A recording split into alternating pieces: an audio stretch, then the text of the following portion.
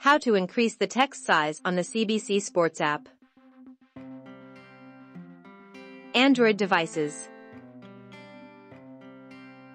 To increase the text size of headlines and articles on the CBC Sports app for Android devices, simply select the menu icon located in the top left corner of the screen.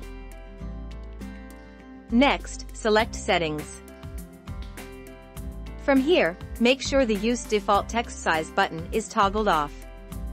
The button will appear gray when it is toggled off. You can now select the text size on the CBC Sports app using the slider which has become available. Moving the slider to the left decreases the text size, while moving it to the right increases the text size on the CBC Sports app. You can view a sample of the text size using the preview window found below the slider. iOS devices.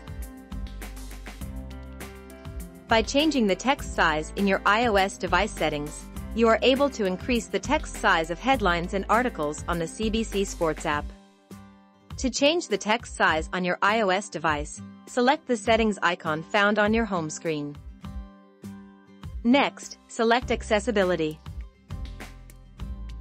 Then select Display and Text Size. From here, toggle the larger text button on. On the larger text screen, you will see two items.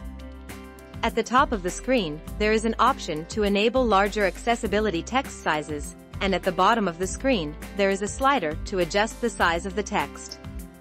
Moving the slider to the left decreases the text size, while moving it to the right increases the text size on your iOS device.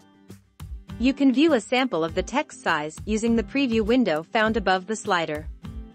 Please note that changing the text size from your device settings will result in a global change to your iOS device.